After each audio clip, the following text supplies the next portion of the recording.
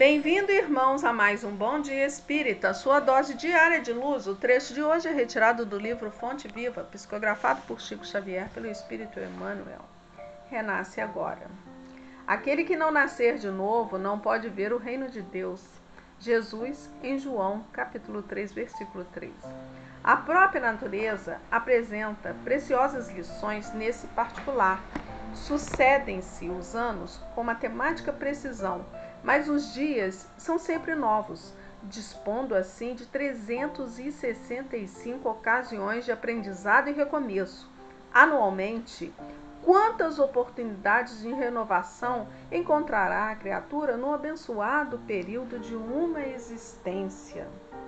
Conserva do passado o que for bom e justo, belo e nobre, e não guardes do pretérito os detritos e as sombras ainda mesmo quando mascarados de encantador revestimento. Faze a ti mesmo, nos domínios da tua iniciativa, pela aplicação da fraternidade real, o trabalho que a tua negligência tirará fatalmente sobre os ombros de teus benfeitores e amigos espirituais. Cada hora que surge pode ser portadora de reajustamento. Se é possível, não deixe para depois os laços de amor e paz que podes criar agora, em substituição às pesadas algemas do desafeto.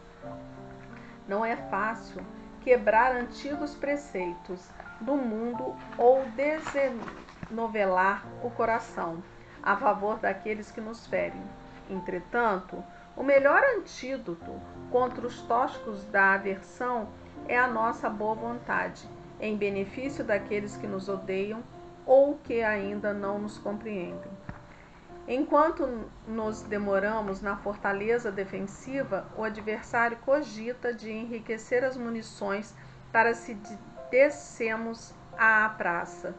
Desassombrados e serenos, mostrando novas disposições na luta, a ideia de acordo substitui dentro de nós em nossos passos a escura fermentação da guerra. Alguém te magoa? Reinicia o esforço da boa compreensão. Alguém te não entende? Preserva em demonstrar os intentos mais nobres. Deixa-te reviver cada dia na corrente cristalina e incessante do bem. Não ouvides a assertiva do Mestre. Aquele que não nascer de novo não pode ver o reino de Deus. Renasce agora em teus propósitos, deliberações e atitudes, trabalhando para superar os obstáculos que te cercam e alcançando a antecipação da vitória sobre ti mesmo no tempo.